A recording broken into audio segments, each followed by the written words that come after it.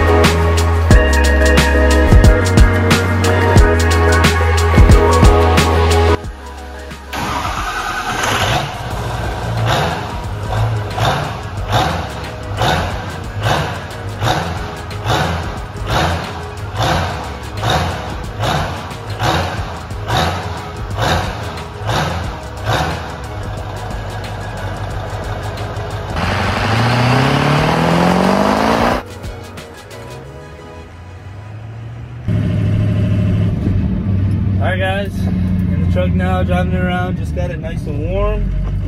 160, thank God the oil cooler in this motor, well on this motor.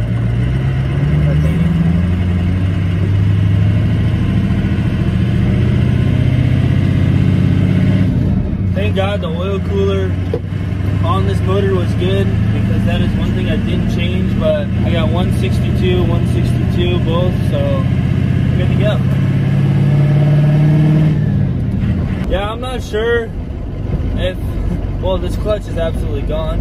I gotta go pick up a new one today. It is a South Bend 3600, whatever. It's rated for like 900 horse and 1400 foot-pounds of torque. It should be good for what we're doing. It's a dual disc, so that's good. Um, but yeah, no, I can't get this clutch to hold any gear in this truck. As soon as I get on it, it smokes for like three seconds, the turbo lights, clutch is gone. clutch does not want to hang on at all. This motor is definitely a lot peppier than the last one. I think the last one was just, obviously had 364,000 miles on it, so I think it was a lot more wore out than what we originally thought. But this motor gets down.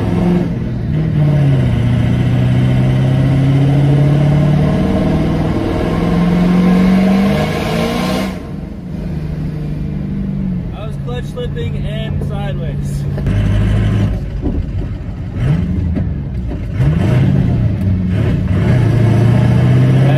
Hurting. Oh.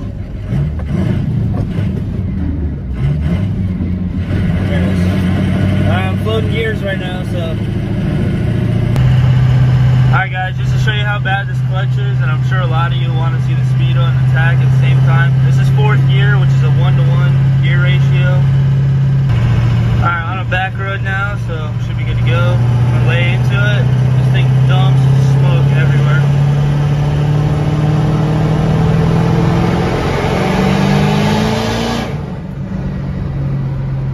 Yeah, as soon as it lights at like 20, 25 2,500 RPM.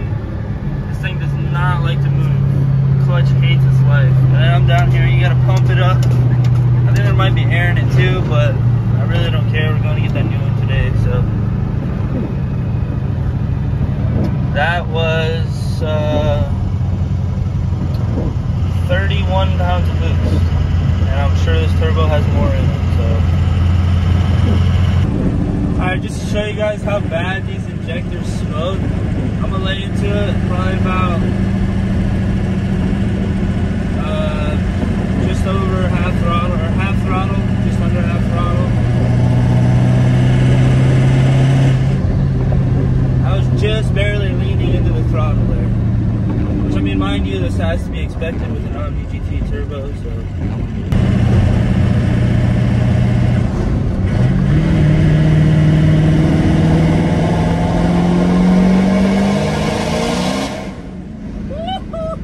Oh.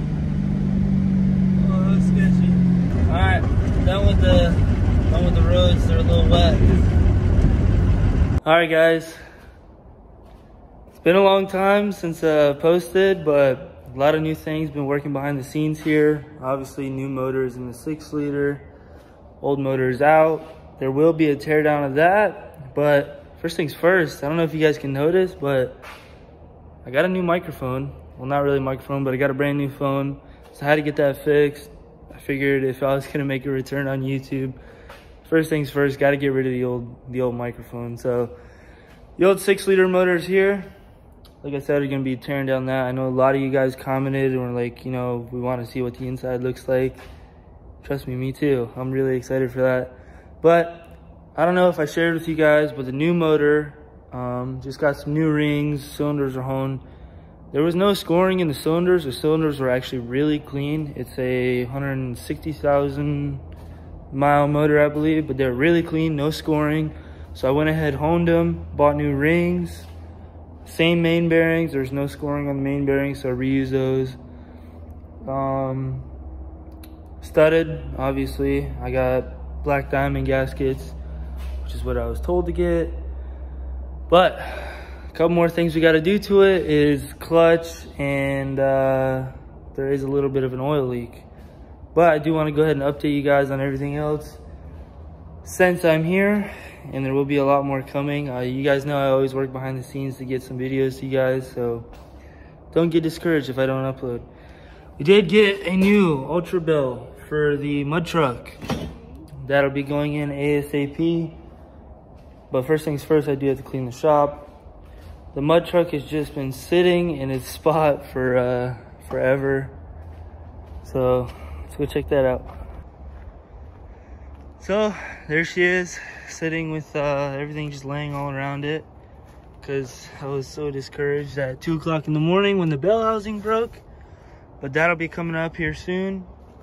Um, that's about it for updates, I guess. Alright guys, so I hope you guys liked it. This is just the start of uh, a lot. I'm so happy this truck is is back together and running. Hopefully this motor lasts us a while because honestly I'm not ready to put another motor in this thing. That sucked. It really did. But we got the clutch on the way. Well, I gotta go pick it up. But clutch is coming, so hopefully we can hold some power then. We got a bunch of content with the mud truck coming up. I'm actually gonna go work on that here now. It's raining just gonna suck, but but I still got to get these rings to break in on this truck, so I still got a bunch of driving to do. Obviously, I want to make sure everything's all right before I really beat on it. I haven't really beat on it, beat on it yet. I mean, I got on it, but not beat on it. So I still got to let the rings, the ring seat and all that. This thing had a ridiculous amount of blow by when I first started it up. So hopefully when the ring seat, that all goes away. But yeah, guys, as always, thanks for watching. Be a lot more coming. Stay tuned. See you guys next time.